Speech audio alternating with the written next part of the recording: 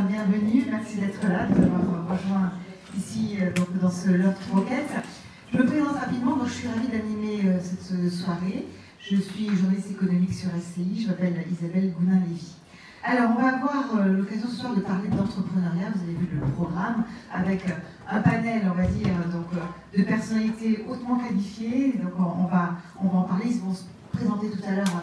Je vais les présenter, mais ils vont se présenter, vous savez, à la façon elevator pitch. Hein, c'est très à la mode, on va dire. Donc, on va avoir droit à alors, prestation dans quelques instants. Donc, cette conférence elle est organisée donc, par le groupe d'assurance ISFOX en partenariat avec euh, le CGE, le Cercle des jeunes entreprises. On va parler de ce qui fait l'ADN des entreprises. On va revenir donc, euh, sur l'enquête que ISFOX vient de réaliser auprès de 4000 entreprises, une enquête donc internationale qui a été menée à la fois en Europe et aux États-Unis. Alors, je vais donc présenter nos différents intervenants. Nous avons Pierre-Olivier, donc Pierre-Olivier de Saul, vous êtes directeur général d'ISFOX Europe et France. Voilà, donc Pierre-Olivier qui est à l'extrême euh, par rapport à moi, on va dire. À côté de moi, c'est euh, Laurent, donc Laurent Alias, qui est l'un des deux cofondateurs du Cercle des jeunes entreprises, également fondateur de l'agence Josiane. Vous êtes également à l'initiative donc, du festival qui s'appelle le Chapeau d'Or. Vous allez nous en parler dans un instant. Ensuite, honneur aux dames quand même, hein, pas si nombreuses, on peut le signaler. Delphine, Delphine Rémy Bouton, donc vous êtes fondatrice de The Bureau, cofondatrice de la journée de la femme digitale. À côté de vous, donc, euh, entre Pierre-Olivier et vous, c'est Abdel, Abdel Bounan, vous êtes vous fondateur de Bright, je vous en parler dans quelques instants aussi. À côté donc, euh, de Delphine, eh c'est Antoine, Antoine Grimaud, vous êtes cofondateur et directeur général de Peplug. Et nous avons enfin donc Bernard Rodac, qui est le président du groupe Osmos, également fondateur du SINOV, le syndicat de l'innovation. Dans quelques instants, donc, présentation pour vous tous. Euh, tout Donc, euh, avec vous, Pierre-Olivier, euh, on va bien sûr parler de cette étude. D'abord, un mot pour nous dire pourquoi finalement vous vous intéressez, vous, ISCOX, comme ça, aux chefs d'entreprise, aux entreprises.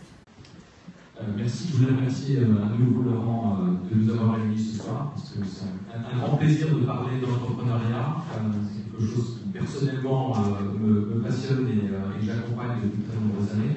Et au-delà de ça, puisque vous parliez de, l'étude d'ISOX, ISOX est un assureur spécialiste international qui a fait le constat suivant, c'est que l'assurance est parfois opaque, un peu rébarbative, pas facile d'accès.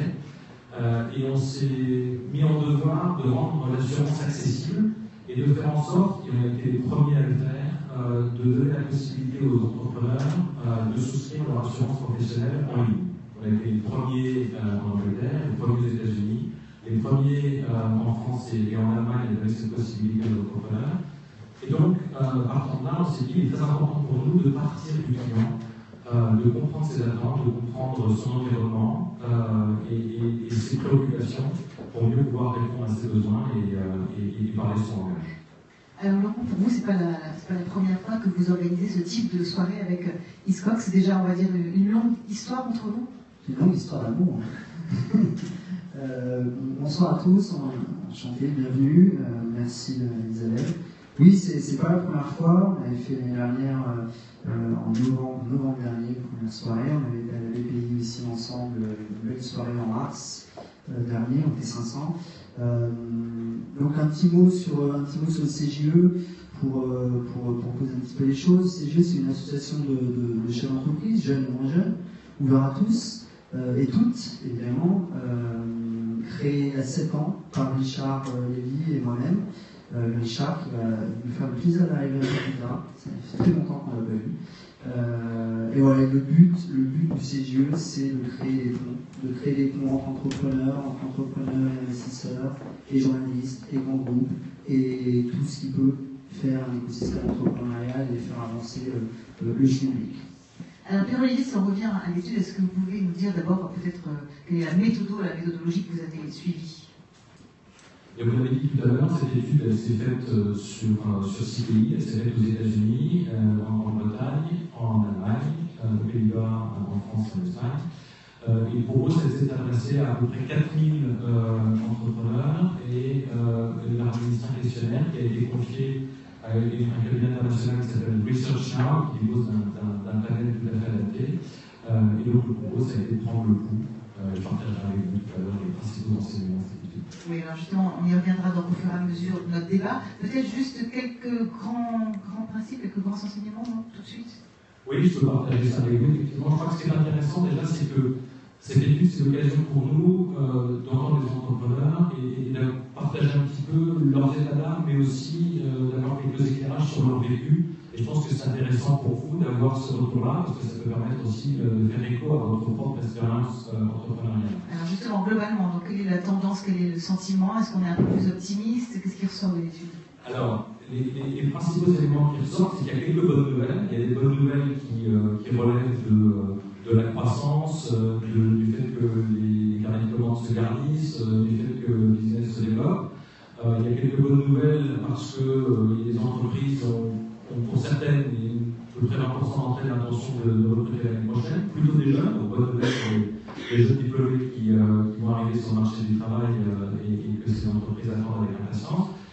Et puis, il y a toujours des défis qui sont là. A des défis qui relèvent euh, du financement, il y a des défis qui relèvent euh, des, retards de paiement et de, la pression que ça impose sur la trésorerie des Et puis, il y a des défis qui sont euh, liés finalement à l'environnement dans lequel on évolue, les politiques gouvernementales, la fiscalité, tout un tas de choses sur lesquelles on s'est amené à revenir, qui, du coup, pèsent probablement sur le moral, parce qu'une des choses qui est frappante dans l'étude, c'est que le niveau d'optimisme des entrepreneurs français est le plus bas de celui des six qu'on a interrogés. Et surtout, cet élément-encéphalogramme-là, il n'a pas bougé au cours des trois dernières années, et reste le plus bas et à un niveau qui n'a pas bougé.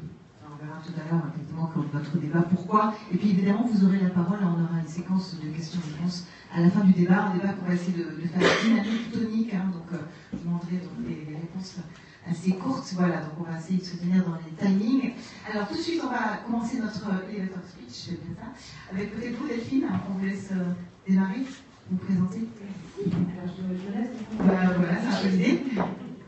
C'est vrai qu'on s'est dit souvent, euh, voilà, quand on assiste à une table ronde, hein, on, on, entend des gens qui disent des super, et on se mais en fait, ils faisaient quoi? Ils faisaient quoi exactement? Donc, euh, on va en savoir un peu plus. Alors, je me présente rapidement. Bonsoir à tous. Delphine Rimouton. Euh, je suis entrepreneur. Euh, J'ai monté une entreprise euh, en 2011 en Angleterre et en France. Ensuite, je parlerai de mon expérience en Angleterre et en France. J'étais pendant 14 euh, ans avant chez IBM. J'ai travaillé à Londres et aux États-Unis pendant, toutes ces années. J'ai monté agence qui s'appelle The Bureau, qui est une agence de communication digitale. on travaille aujourd'hui avec des clients comme Edison, Orange, La Poste et, bien d'autres. Et on travaille aussi avec d'autres entrepreneurs comme Apple de Prime qui est ici. Et voilà, euh, et j'ai aussi euh, cofondé la journée de la femme digitale qui euh, se déroulera pour la quatrième édition le 10 mars prochain à Paris. Et on est en train de découvrir, trouver le nouvel endroit qui, accueillera toutes ces femmes entrepreneurs parce que je vous signale que je suis la seule sur ce panel. Donc c'est quand même important qu'il y ait plus de femmes entrepreneurs dans ce beau pays. Effectivement, effectivement. Merci beaucoup, les filles. Vous êtes combien dans votre entreprise aujourd'hui? On est une petite dizaine entre une petite dizaine. Alors, qui est-ce qui veut poursuivre euh, Abdel Bonjour, je suis Abdel Mounel, euh, je suis entrepreneur, je suis président de Braille. Euh, donc chez Braille, on considère que l'art numérique, c'est le futur de l'art, qui va succéder à l'art contemporain. Et donc, on a monté Braille pour exposer et pour produire ces nouvelles formes de création euh, sont, euh, voilà, qu'on voit derrière vous. Hein. Il faut vous, il faut vous descendre, je crois que serait peut-être mieux. Ce sont de l'art vidéo, des œuvres générées à partir de data, de data informatique, de data d'espace public, ou des œuvres interactives, des œuvres qui réagissent au mouvement, au mouvement du corps, au mouvement du visage, etc. Donc pour nous, c'est un, nouveau paradigme dans l'art en général. Et donc on l'expose euh, dans des espaces publics, euh, hôtels, restaurants, boutiques, aéroports, gares, euh, restaurants, et on le produit. On travaille avec une dizaine de marques, on a moins d'un an et on travaille déjà avec euh, des grands groupes euh, qui s'intéressent à ces nouvelles formes d'art et de création. Voilà. Merci beaucoup, merci Adèle.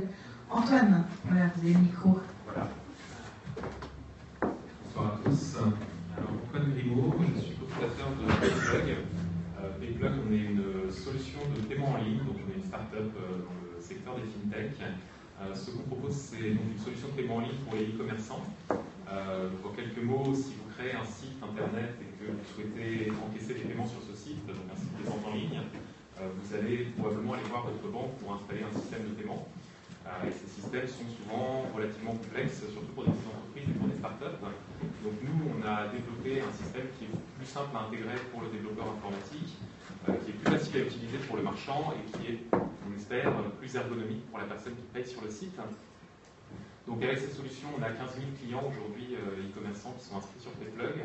Et vous êtes créé depuis combien de temps, vous avez dit? Depuis 3 ans. 3 ans. hein. Depuis 3 ans.